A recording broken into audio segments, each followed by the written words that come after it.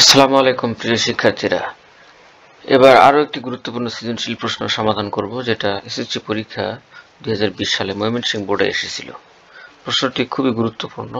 চলো আমরা সমাধান করি। ক নম্বর প্রশ্নে বলা আছে, উৎপাদক বিশ্লেষণ করো। তো উৎপাদক বিশ্লেষণ আমরা করব। ফার্স্ট স্টেপে দেখব যে কমন যায় কিনা। এখানে যেহেতু কমন যাচ্ছে না, অর্থাৎ এখানে ওয়াই স্কোয়ার আছে, এখানে টু ওয়াই কিন্তু এখানেও কিন্তু আবার ওয়াই নেই। এই জন্য আমাদের দেখতে হবে আগে সূত্র প্রয়োগ করা যায় কিনা। তাহলে পরের লাইনে আমরা সূত্র প্রয়োগ করব Y square minus two Y Z plus Z square তাহলে এইটুকু এ মাইনাস হোল স্কোয়ার সূত্র আকারের হবে এবং যেহেতু জেড স্কোয়ার আগের লাইনে নাই এবং জেড স্কোয়ার একটা বিয়োগ দিয়ে ফেললাম, তাহলে Y square minus two Y Z plus Z square তো এটাকে আমরা লিখব Y minus Z whole square এবং এখান থেকে এই অংশ আমরা যদি ব্র্যাকেট ইউজ করি তাহলে ভিতরের চিহ্নগুলো পরিবর্তন হয়ে যাবে। সবগুলো প্লাস হয়ে যাবে। তাহলে এটাও একটা সূত্র আকারে এখানে দেখা যাক হয়ে আছে এখানে। তাহলে Z square plus two into Z into two plus two square লেখা যায় এটাকে। অর্থাৎ এটা এ প্লাস বি হোল স্কোয়ারের সূত্র আকারে হয়ে গেল। তাহলে এটাকে আমরা লিখব Y minus Z whole square minus Z plus two whole square এই আকারে আমরা লিখতে পারি। হ্যাঁ এরপরে এটা A A plus B into A minus B অর্থাৎ A plus B into A minus B সমান সমান যে A square minus B square এ আকারের আছে। অর্থাৎ এখানে এর জায়গায় আছে ওয়াই ওয়াই মাইনাস জেড এবং বির জায়গায় আছে জেড প্লাস টু তাহলে আমরা লিখব Y minus Z plus Z plus two এবং Y minus Z minus Z minus two অর্থাৎ এই মাইনাস দ্বারা আবার এই যে মাইনাস দ্বারা যদি গুণ হয়ে যায়, তাহলে এটা মাইনাস হয়ে যাবে। এখন এই জেড জেড কাটা যাবে এবং মাইনাস জেড মাইনাস জেড যোগ করলে মাইনাস টু জেড হয়। অর্থাৎ ওয়াই প্লাস টু জেড এবং Y minus two Z minus two এটাই হলো অ্যান্সার উৎপাদক বিশ্লেষণ করা হলো। তো আশা করি তোমরা বুঝতে পেরেছ নিশ্চয়ই। এরপরে খ নম্বর সমস্যাটা বলা আছে। প্রমাণ করো যে P root P plus one by P root P is equal to thirty four root five তো নিশ্চয়ই এটা উদ্দীপক এক নম্বর থেকে সমাধান করতে হবে। তাহলে খ নম্বর সমস্যা, সেটা একটু দেখি দেওয়া আছে পি সমান নাইন প্লাস ফোর ফাইভ এখন এটাকে আমরা ইতিপূর্বে একটা ভিডিওতে এই নিয়ে আলোচনা করেছিলাম যে nine plus four root five এটাকে এই নাইনকে ভাঙাতে হবে ফাইভ প্লাস ফোর করে। অর্থাৎ ফাইভ প্লাস ফোর করতে হবে। তাহলে এটাকে এফ বর্গের সূত্র প্রয়োগ করব আমরা। এখন যেহেতু পাঁচের বর্গ এখানে করা যায় না সরাসরি, এই জন্য রুট এনে বর্গ করতে হবে। অর্থাৎ root five whole square plus two into root five into two plus two square তাহলে এটা A plus B whole square সূত্র। অর্থাৎ এখানে A square plus two A B plus B square এ আকারের হয়ে আছে এখানে। এর জায়গায় এখানে আছে এখানে আছে রুট ফাইভ বির জায়গায় আছে এখানে টু এবং মাঝখানে যেটা আছে two into root five into two তো এটাকে ক্যালকুলেশন করলে কিন্তু ঠিক এটার মতো হয়ে যায়। তাহলে এটা আমরা বর্গের প্রথম সূত্র, সেটা আমরা প্রয়োগ করলাম। হ্যাঁ এখন আমরা লিখব যে root five plus two whole square এবং বামে থাকে পি এখন স্কোয়ারকে ভ্যানিশ করার জন্য উভয় পক্ষে আমাদের বর্গমূল আনতে হবে। অর্থাৎ এই পাশে বর্গমূল, উভয় পক্ষে বর্গমূল করলে তাহলে স্কোয়ার এবং রুট ভ্যানিশ হয়ে পরে আমরা রুট পি সমান রুট ফাইভ প্লাস টু লিখতে পারব। এখন যেহেতু এখানে প্লাস আছে, তাহলে আমাদের প্লাসের মান বের করতে হবে। অর্থাৎ ওয়ান বাই রুট পি বের করতে হবে। এখন এটাকে যদি আমরা ওয়ান বাই রুট পি করি, তাহলে one by root P is equal to one by root five plus two হয়। এখন root five minus root two দ্বারা লব এবং হরে গুণ করে দিতে হবে। অর্থাৎ হরে যেটা আছে, সেটারই প্লাসের জায়গায় মাইনাস করে লব এবং হরে গুণ করে দিতে হবে। তাহলে নিচে A plus B into A minus B সূত্র আকারে আছে, অর্থাৎ এ স্কোয়ার মাইনাস বি স্কোয়ারের সূত্র root five whole square minus two square root five whole square মানে শুধু ফাইভ এবং টু স্কোয়ার মানে ফোর অর্থাৎ ফাইভ মাইনাস ফোর মানে ওয়ান তাহলে থাকে এখানে রুট ফাইভ মাইনাস টু এখন রুট পি সমান আমরা জানি রুট ফাইভ প্লাস টু এবং ওয়ান বাই রুট পি সমান পেলাম রুট ফাইভ মাইনাস টু তাহলে এই দুটাকে যদি আমরা যোগ করে দিই, অর্থাৎ এই যে root P is equal to root five plus two এবং ওয়ান বাই রুট পিকে যদি যোগ করে দেই, তাহলে আমরা এরকম পাই, তাহলে যে এটা এটা কাটা যাবে। রুট ফাইভ রুট ফাইভ যোগ করলে হয় টু রুট ফাইভ এখন এটা পরের লাইনে যদি উভয় পক্ষে আমরা যদি ঘন করে দিই, তাহলে ঘন নির্ণয় সূত্র অ্যাপ্লাই করলে আমরা এই যে এই প্রমাণে যেতে পারব। তাহলে বা ঘন নির্ণয় সূত্র উভয় পক্ষে ঘন করে এটা দুইবার চলে আসছে, অসুবিধা নেই। তাহলে বা ঘন নির্ণয় যে সূত্র যে ছিল যে A plus B whole cube সমান সমান A cube plus B cube plus three A B into A plus B অর্থাৎ এর জায়গায় এখানে আছে রুট পি বির জায়গায় আছে ওয়ান বাই রুট পি অর্থাৎ A cube plus B cube plus three A B into A plus B এখন এই রুট পি এবং এই যে রুট পি কাটা যায় এবং root P plus one by root P এটার মান হচ্ছে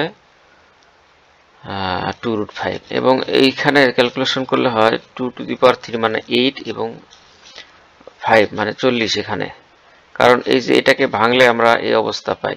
অর্থাৎ এই root two root five whole cube এটা মানে টুর উপরে কিউব এবং ফাইভ রুট ফাইভ এটা পাওয়া যায়।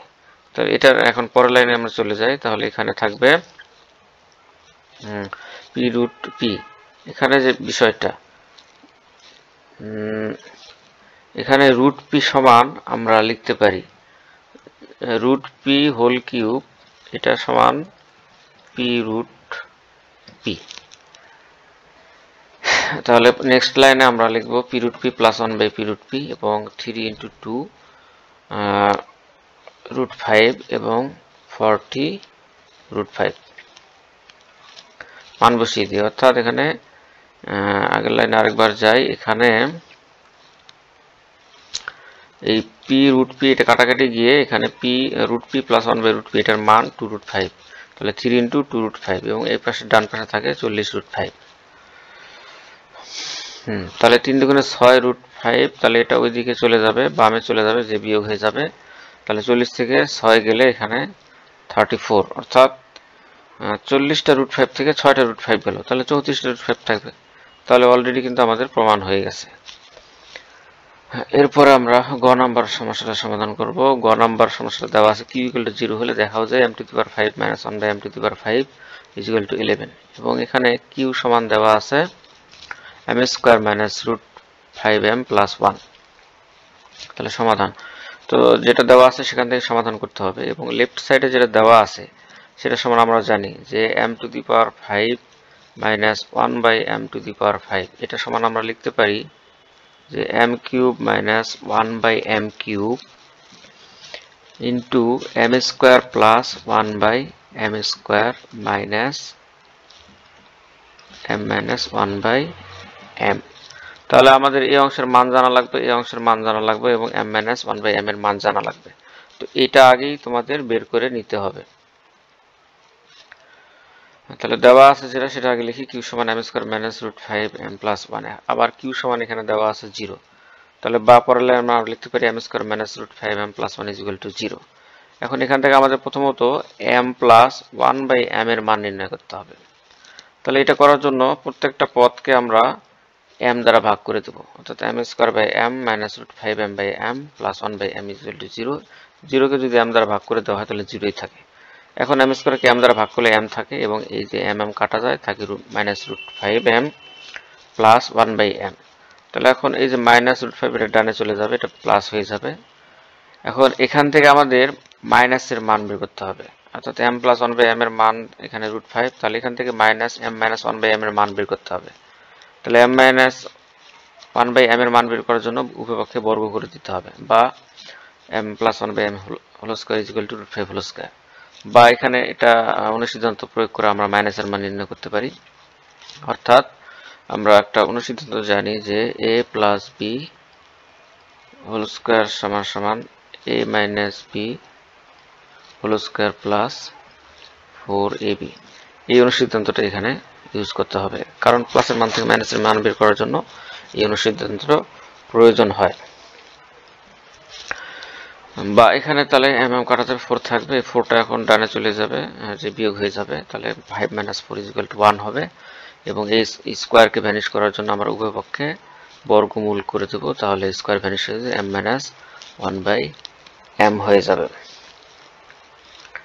তাহলে এটার মান আমরা পেলাম। আমাদের দরকার হচ্ছে M cube minus one by M cube এবং M square plus one by M square এখন এই এই যে M minus one by M equal to one যেটা পেলাম, এটাকে আমরা যদি উভয়পক্ষে আবার বর্গ করি, তাহলে আমরা এই যে মানটা পাবো এটা। তাহলে আবার পুনরায় বর্গ করে উভয়পক্ষে তাহলে M minus one by M whole square সূত্র আমরা লিখি যে M square minus two M into one by M plus one by M square তাহলে কাটা যায়। শুধু থাকে M M square minus two plus one by M square equal to one এখন মাইনাস টু ডানে গিয়ে এটা প্লাস হয়ে যাবে। অর্থাৎ এটার M square plus one by M স্কোয়ারের মান হবে থ্রি এখন আমাদের M cube minus one by M কিউবের মান বের করতে হবে। আবার আমরা জানি যে M minus one by M সমান ওয়ান এটা আমরা আগে বের করেছিলাম। এখন এটাকে উভয় পক্ষে ঘন করে দেই। তাহলে আমরা M cube minus one by M কিউবের মান নির্ণয় করতে পারব।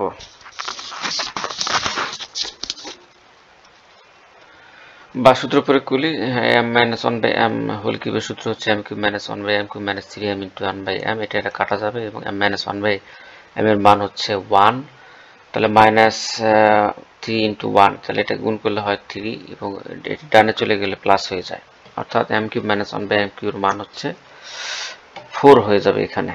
এখন আমাদের যেটা লেফট সাইড যেটা দেওয়া আছে সেটা লিখি। Left side M to the power five minus one by M to the power five এবং এটা সমান লেখা যায় M cube minus one by M cube plus M into M square plus one by M square minus M minus one by M এখন M cube minus one by M কিউবের মান বেরোলো four এবং M square plus one by M square মান হচ্ছে three এবং M minus one by M এর মান হচ্ছে ওয়ান তাহলে ফোর ইন্টু থ্রি মানে টুয়েলভ মাইনাস ওয়ান মানে ইলেভেন এটাই হচ্ছে প্রমাণের বিষয় এবং প্রমাণ হয়ে গেছে, অর্থাৎ দেখানো হলো। আশা করি তোমরা বুঝতে পেরেছ।